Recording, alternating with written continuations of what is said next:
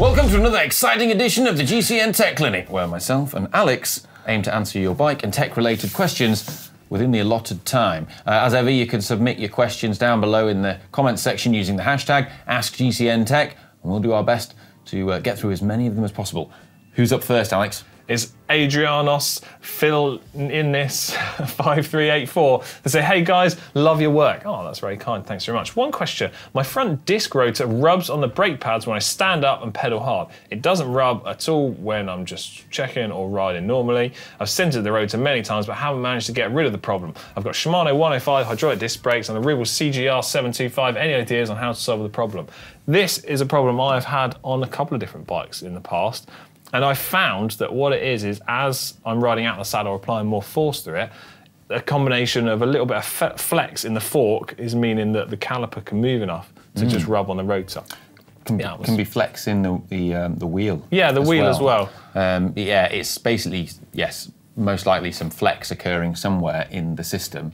You can also notice it when you bank really fast and hard around a, um, a hairpin turn at high speed. Yeah. And you can get a similar sort of thing happening sometimes. The way well. I actually overcame this, um, I've got two, solutions. two solutions for you here. One, go down a rotor size. That'll help reduce the amount of flex there is because you're bringing everything closer to the central point. Two is work out which way or which side it is that it's rubbing on when you're finding that it does, and then offset the caliper ever, ever so slightly and that was how I solved the problem. Yeah, a little but bit of trial and error. It's not the end of the world because it's only rubbing a slight bit, and it's usually, yeah, like it's not. Yeah. It's not the end. It's an, it can be a bit annoying, but it's just annoying for me. It grinds my gears. That does. Um, next question have we got? Uh, Nick Waldrop9302, who says, "How do I know it's time to move on from my entry level bike to start to look for a better one?" Or would you suggest start upgrading the entry level one with nice components instead of a new purchase? That, this is the eternal question. yeah, it is. Oh, when are you ready for a new bike or upgrading it? Well, for starters, it's whenever the hell you decide that you want to do it. Yeah. There is no right or wrong. You know, and if you can, you know, do do whatever you can afford to do, and if you want to do it, do it. Yeah. Like it's the same with anything, you know, you, you get to a point you maybe you start off learning a musical instrument and you have like a beginner one and then you advance and you're like, I want a Stradivarius. I think as, I think upgrade your bike to your heart's content as much as you want to do. I think as long as you're aware of differentiating between products and bikes that you maybe need or products and things that you maybe want. And it's also going to be diminishing returns the higher up the price list you get in terms of the performance you're going to yeah. get. Yeah, well, it's good advice. We've, we've done quite a lot of videos on this in the past, which I suggest you, you check out. But always go for the, the biggest bang for your buck upgrades, something which we've covered off before. Yeah, so. totally. Um, Graham Austin 9085 says, I presume chain packing grease is a hydrocarbon, so why do people insist every last bit is cleaned off before waxing? Surely the wax will dissolve any last trace of the grease that have been missed by a quicker clean.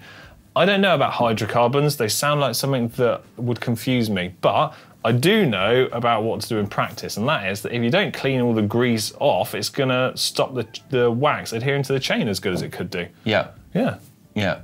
Simple answer. You're ba- you know, one of the ways in which you reduce the friction um, of of the of the chain is with the tungsten disulfide additive that is in, say, the, the Silca Super Secret wax and the drip on is that it's kind of smoothing out the surface of the of the chain. So if you were able to look at the metal plates and the metal surface of a typical bike chain, you know, looking at it with the naked eye, it looks smooth.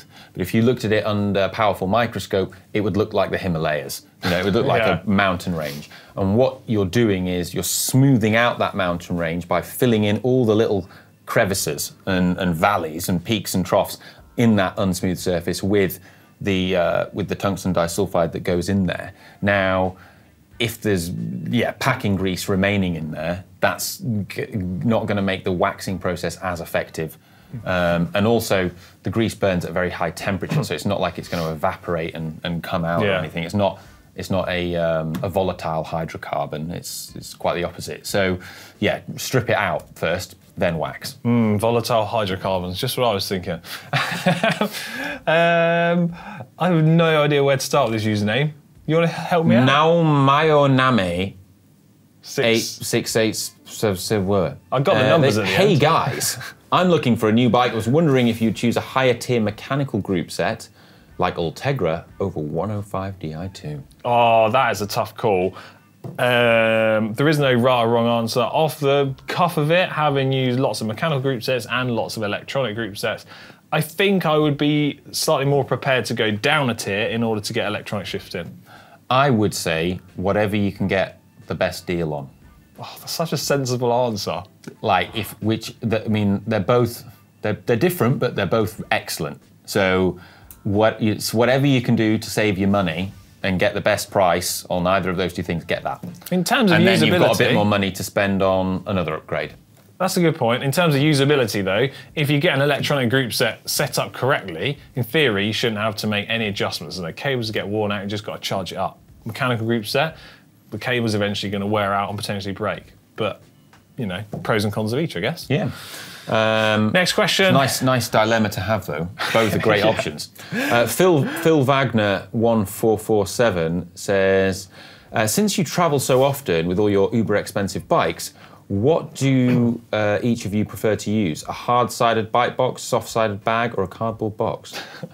Um, I've got a video that's that I've, that I've, I've not filmed yet, but I planned to discuss all this. well, you go first. What, what would be your preference of? Hundred million billion percent hard case. Well, that's just silly because you can't get more than 100. But yeah, I would choose a hard case bike box as well. I've travelled with a soft case um, bag as well and had no issues whatsoever, but my preference would always be a hard case one if possible. Yes, um, and uh, you know, the yeah soft. I, I've seen people damage bikes in soft case bags. There are some very expensive soft case bags out there, but given the choice, I will always use a hard case. Yeah. Okay, last question is from XC Russ. Have you investigated the fuel economy benefit when traveling with an aero bike and wheel set on the roof of a car versus a standard bike and wheel set? If not, can you? Some people may be interested in this as extra justification for buying N plus one. Well, with the current price of fuel, Yeah. I think this is a that's what that's that's why we've got this question. yeah. Truly alarming predicament we're in with the cost of fuel. Um, I think yeah, there's. It's fair to do that? assume you would have a slight. We can't investigate it. no. But yeah, okay, Mainly yeah. because I can't be bothered. Common But sense says an aero bike is going to reduce the amount of drag that the car exhibits. ever so slightly. Yeah. I Ever really so slightly. I wouldn't worry about it. It sounds like a good excuse to buy a new T- bike. Just get a TT bike, put that on the roof. Wouldn't even notice it. Yeah, probably maybe make your car faster. Fuel economy go up. Yeah. Um, anyway, that's it for this week's Tech Clinic. Um, hope everyone enjoyed it and we answered your questions. If we haven't, please keep commenting your questions in the comment section down below and we'll get to them in the coming weeks. It is an important consideration, though. Your, your fuel economy is going to drop significantly having a bike on the roof, even if it's an aero bike. So Yeah. if you do want to save a bit of fuel and you can fit your car, your bike in the boot, do it. All right, we're out of here. See you later. We're going to go put our car in our bike. so you had something you wanted to talk about. Oh yeah, there were comments on last week's uh, tech clinic about my incorrect uh, torque assessment, where I said that a newton meter was equivalent to one kilogram a meter away. That's ten newton meters. All right. And also, it's not entirely like perfectly accurate because yes, the gravitational constant and all that crap. So, but it's like give or take. It's slightly more than ten kilograms, like a tiny amount. Who cares? Somebody did, but we don't. Uh, ten kilograms a meter away. right, we're out of here for the second time. Bye. No, that's wrong.